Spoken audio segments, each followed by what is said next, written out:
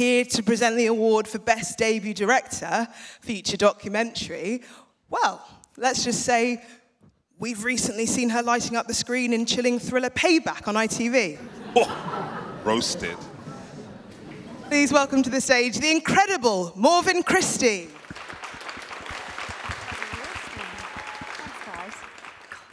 Everyone all right?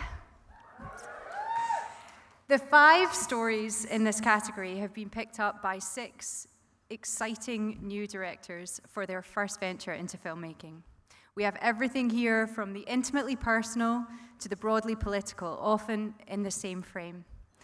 The BIFA for Best Debut Director Feature Documentary goes to Chloe Abrahams for The Taste of Mango.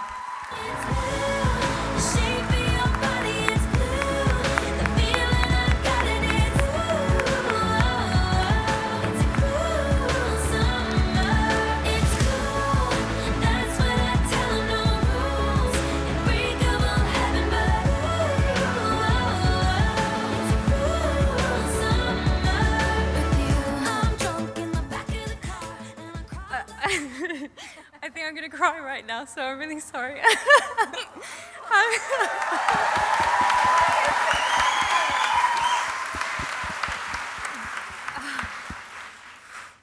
um, for those of you who haven't seen my film, it's, um, it's about my, my grandma who lived in Sri Lanka her whole life, uh, my mum and me, and um, uh, trying to bring us all together in, in, the face of a lot of pain that had happened in the past. And um, it was a long journey.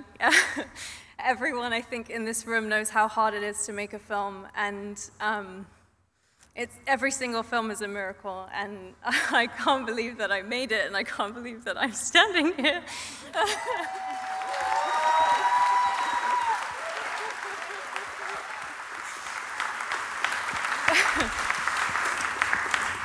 I made this for my grandma, I made this for my mum, and for all the generations to come. And um, I'm, I'm so grateful to every single person who was part of making this film, anyone who I had a conversation with, that impacted me, that impacted the film, and I'm, I'm so grateful. Thank you.